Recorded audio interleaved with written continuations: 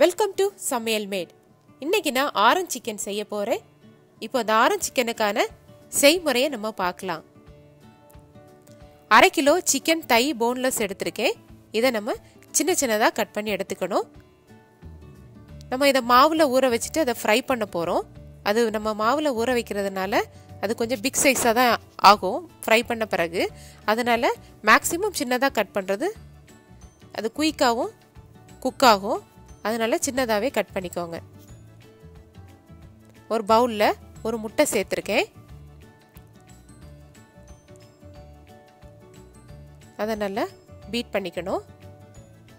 இப்போ இந்த சிக்கனை வந்து ஃப்ரை பண்ணதுக்கு முன்னாடி அந்த பேட்டர் ப்ரிப்பேர் பண்ண போகிறோம் அதுக்கு தான் இந்த முட்டையை வந்து நல்லா பீட் பண்ணி எடுத்துக்கணும்.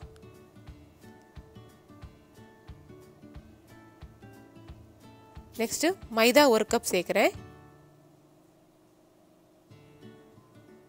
கார்ன்ஃப்ளவர் ஆஃப் கப் சேர்த்துருக்கேன்.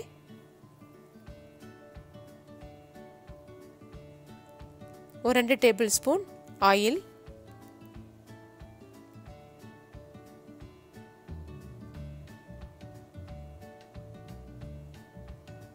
பெப்பர் ஒரு டீஸ்பூன் சேர்த்துருக்கேன்.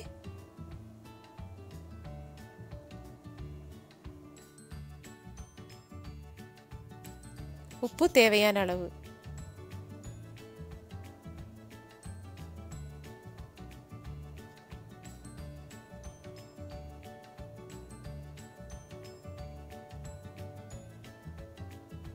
இதை நம்ம மிக்ஸ் பண்ணிக்கணும்.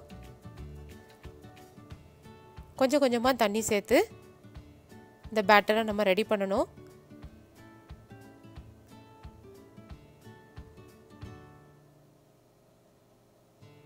பேட்டர் வந்து ரொம்ப திக்காகவும் இருக்கக்கூடாது.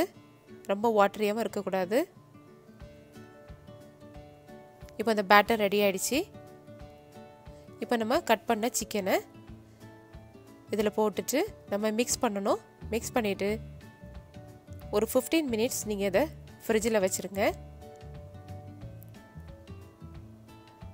அது ஃபிஃப்டீன் மினிட்ஸ் சோக் ஆகட்டும்.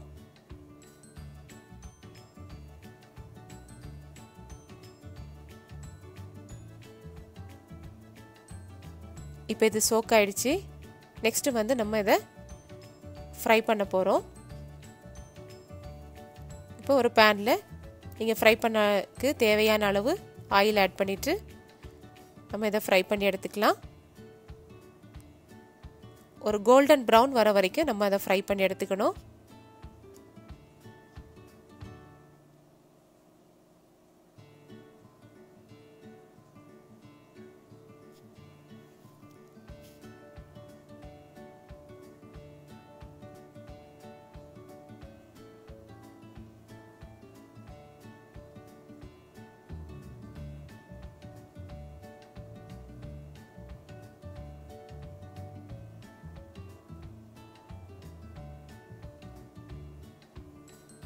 நெக்ஸ்ட் இப்போ சிக்கன்லாம் ஃப்ரை பண்ணியாச்சு. இப்போ நெக்ஸ்ட் பேனில் நம்ம சாஸ் ரெடி பண்ண போகிறோம் அதுக்கு ரெண்டு டேபிள் ஸ்பூன் சிசமி ஆயில் சேர்த்துருக்கேன்.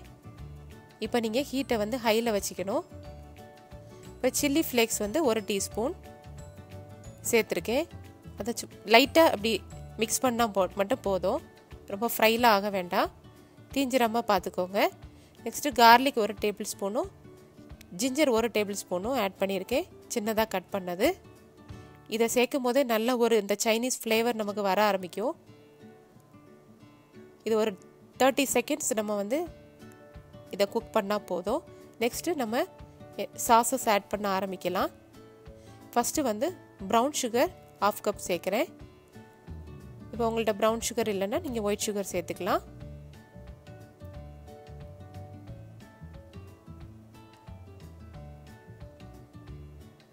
இப்போ இது மிக்ஸ் ஆயாச்சு. Next orange juice three by four cup சேர்த்துருக்கேன். சேர்த்துட்டு இதை லைட்டாக மிக்ஸ் பண்ணிக்கோங்க.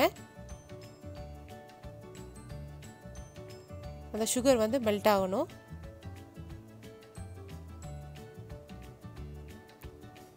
Next soya sauce three tablespoon add பண்ணியிருக்கேன் ஒன்று லைட்டாக மிக்ஸ் பண்ணிவிட்டு உடனே உடனே சேர்த்துற வேண்டியதான் இப்போ அது நல்லா பாயில் ஆகிட்டுருக்கு இப்போது distilled vinegar two tablespoon add பண்ணுறேன்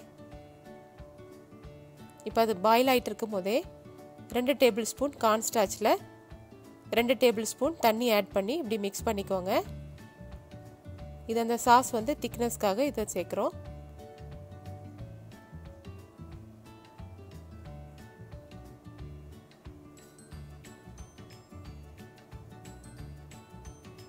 இந்த கார்ன்ஸ்டாச் ஆட் பண்ண உடனே இந்த சாஸ் வந்து நல்லா திக்காகும் அதனால் நீங்கள் மிக்ஸ் பண்ணிகிட்டே இருங்க. இப்போ வந்து மீடியம் ஹீட்டில் வச்சுக்கோங்க.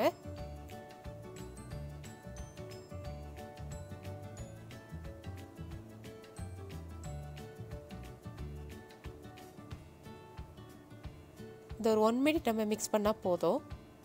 இப்போ சாஸ் வந்து நமக்கு ரெடி ஆகிடுச்சு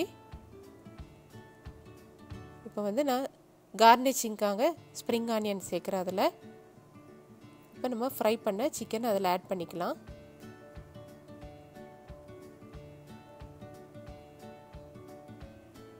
இப்போ அந்த சிக்கனில் வந்து அந்த சாஸ் வந்து கோட்டார அளவுக்கு நம்ம நல்லா மிக்ஸ் பண்ணி கொடுக்கணும்.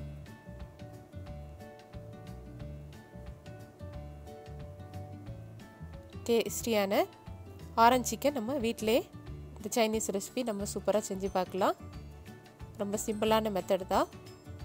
இதை நீங்கள் ட்ரை பண்ணி பாருங்கள் ட்ரை பண்ணி பார்த்துட்டு எனக்கு கமெண்ட் பண்ணுங்கள் சமையல் மேட் சேனலை சப்ஸ்கிரைப் பண்ணாதவங்க சப்ஸ்கிரைப் பண்ணிக்கோங்க.